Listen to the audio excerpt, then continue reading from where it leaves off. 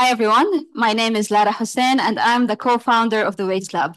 And today I'd like to talk to you about a topic that is very dear and important to my heart and to my business. And this is food waste and what we can do from our homes, from our communities, offices to reduce it. And of course, fight climate change. So I'm going to start with showing you some numbers. Do you know that food waste globally is a billion ton problem? And unfortunately, 61% of it is coming right out from our homes. And this is followed by food services like hotels and restaurants, and then by retail like supermarkets and grocery stores. If we want to go and zoom more into the UAE, you know, in the UAE, we import around 90% of food here from different countries, from different locations. And we pay $6.4 billion on this import. And uh, unfortunately, again, we spend around half of this amount on food waste. So if you look on some averages on a personal level, in the UAE, per person per year, we waste around 327 kilograms of food.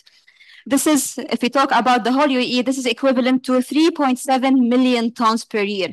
And to, to help you visualize it a bit, we, we can equate it to the weight of 6.5 Burj Khalifas in terms of volume. And this is huge.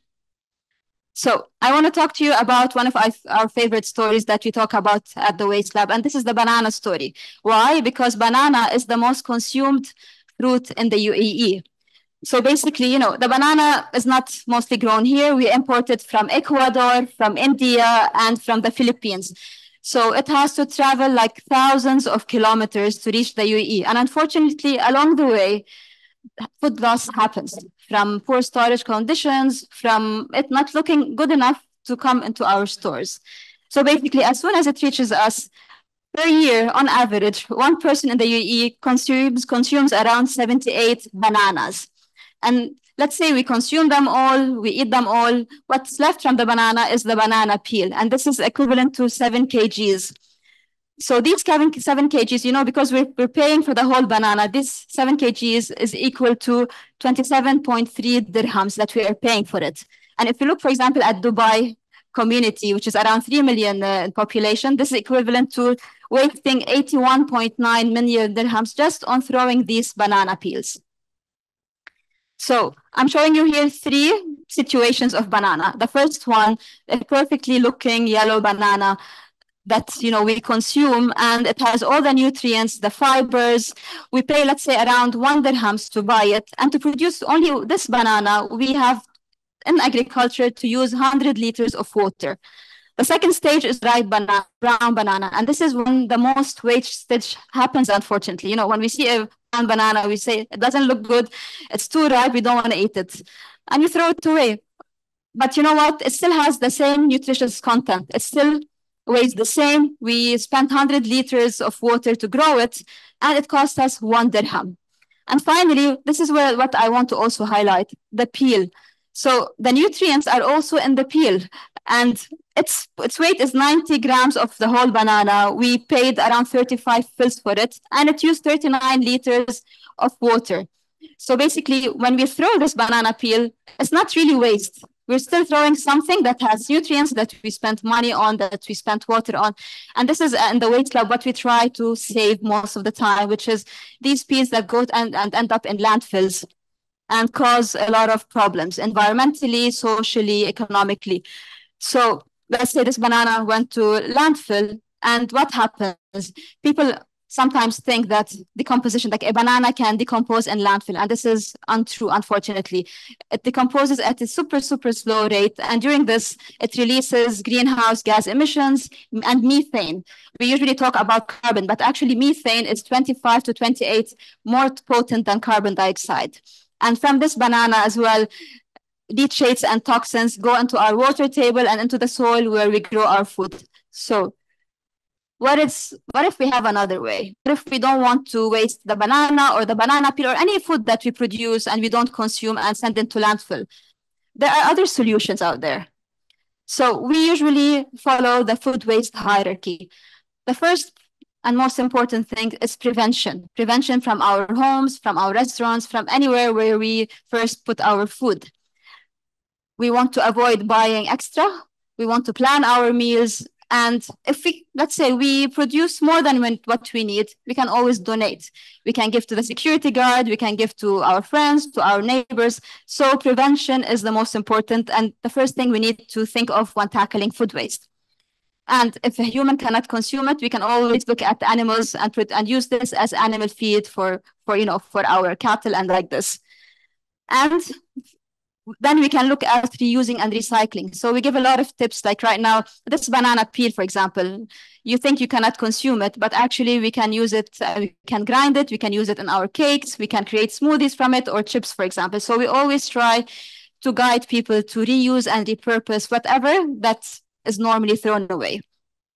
And let's say, okay, we don't have these solutions, we, do, we cannot do it, we always remain with some food that is left we compost, and this is what we focus on on the waste lab. So composting actually recovers these nutrients. Like I said, the banana peel still has nutrients. Instead of throwing it in landfill, these nutrients can go into our soil.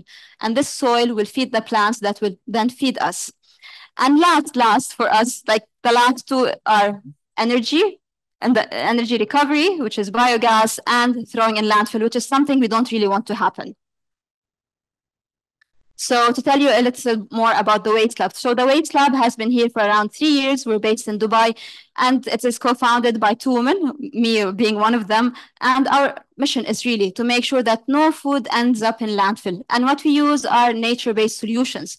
What we do in-house is composting in the most natural way possible. And composting, for those who don't know it, is nature's way of recycling food waste. It's decomposition.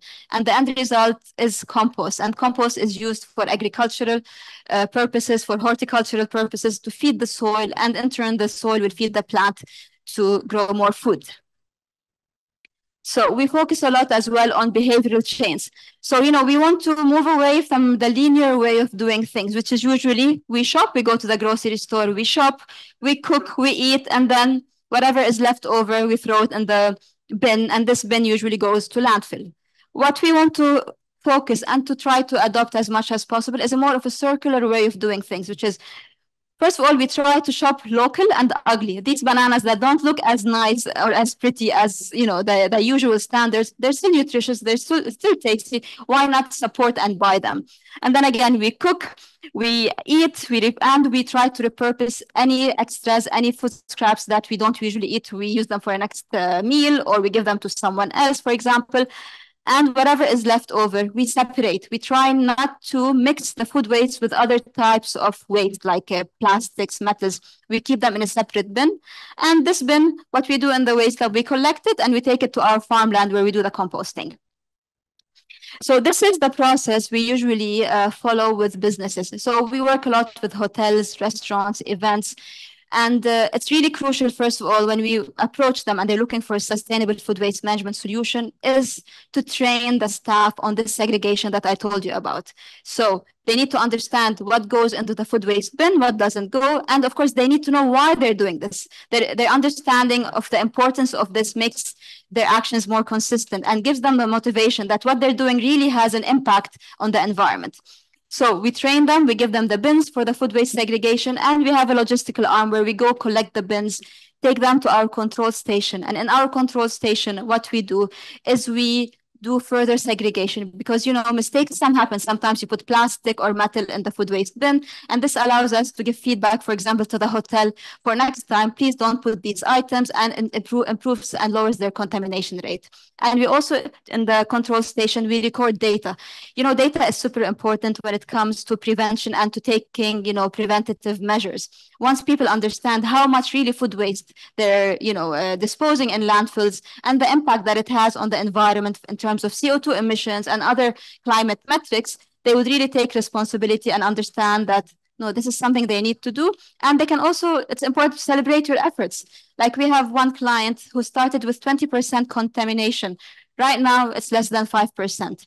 Another client reduced in six months 20% of food waste from the source. And this is because we are giving them data re real time consistently, and they can track the progress and they can, like I said, celebrate their efforts.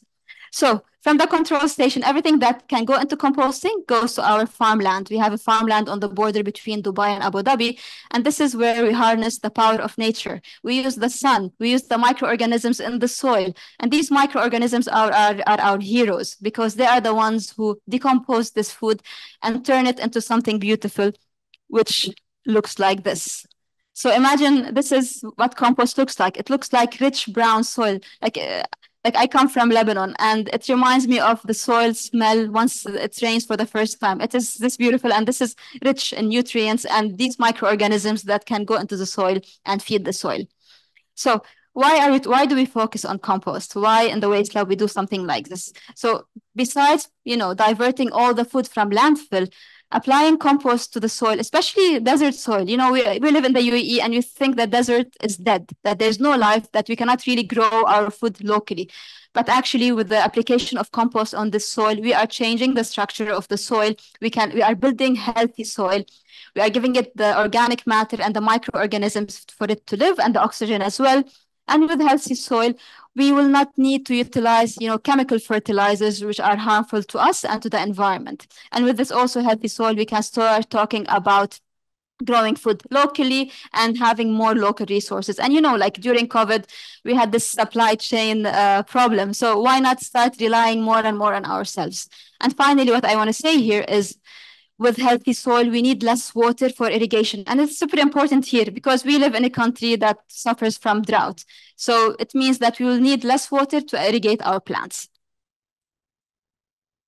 And I want to show you here some metrics that we have achieved last year uh, with the waste lab. So in 2023, we rescued and diverted half a million kilograms of food waste from going to landfill. And this is a huge number because it is also equivalent to diverting half a million kgs of CO2. And we've been working with hotels, restaurants, offices, schools, and universities because we, when it comes to schools and universities, you know, we always say like we need to guide and educate the young people because they will they are the future and they will also influence their parents to start taking some measures from their homes. So we offer a lot of workshops, a lot of engagement activities. Here we have uh, students coming to one of our compost stations where they are turning the compost pile, bringing their food scraps and creating compost. Here, this is one restaurant as well that has our bins. They are segregating their food waste, and we continue the journey from there by creating compost and sharing data for them to improve as they go. And finally, like I said, donation is super important. We had one um, pumpkin rescue operation for Halloween where people gave us their pumpkins that would normally end up in landfill. And we donated the edible ones to the UAE Food Bank because why should we throw it away or even compost it if we can still consume it as humans? This is another project we did in Sustainable City Dubai. And what you can see, this is the same place. One is taken in December and one in June. And what we did here is basically we engaged the community, the villas that are living there. We rescued their food waste and composted uh, in these stations.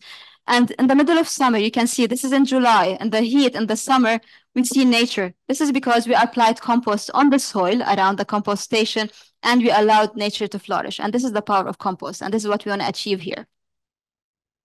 And finally, I want to show you our farmland. This is where I told you we do our large scale composting operations. These are our compost pods, and this is where all the magic happens. Thank you very much.